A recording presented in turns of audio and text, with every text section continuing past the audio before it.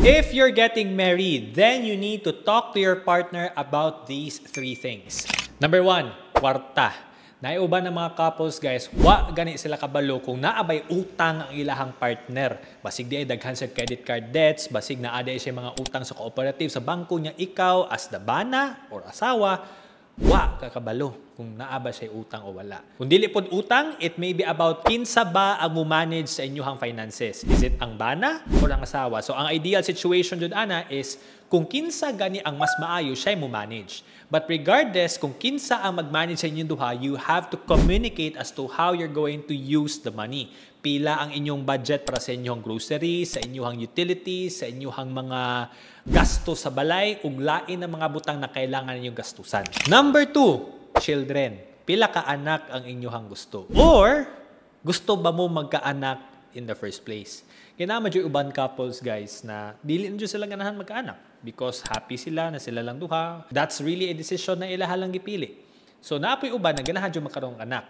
Ang pangutan na karon pila man, isa, duha, tulo, or dapat ba duha ka babae, duha ka lalaki? Dili ba mumuundang kung wala pa niya abot na lalaki sa inyong pamilya? Inana na mga situations ba? Because ang kanimanggong anak is a very sensitive topic because naman yung uban sa tua na biologically siguro dili ta makabuo. So if that's the case, basi kailangan ninyo i-consider ang adoption. Or basi kailangan ninyo i-consider uh, other things like IVF or sa pailain na mapamaagi dira which is mahal-mahal po biyan siya. Ang children is a very sensitive topic na kailangan siguro niyo discuss before mo magminyo. Number three, family situation. O kani, kay the moment na magpakasal ka, ang imuhang pamilya kay mahimo na mong pamilya sa imuhang asawa.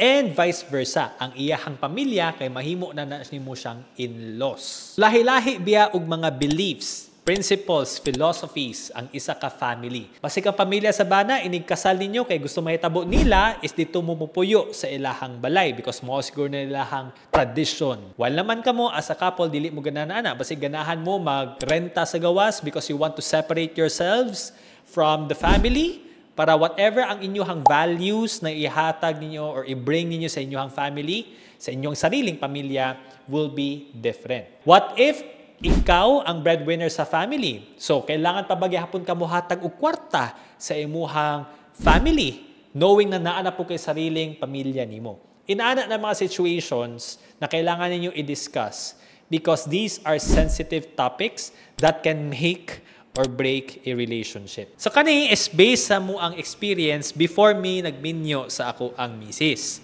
Pero lahi-lahi magutag sitwasyon per couple, lahi-lahi magutag sitwasyon per pamilya. So ang pangutana karon is sa imuha unsa ba ang mga topics or mga butang na kailangan niyo i-discuss with your partner before mo magminyo.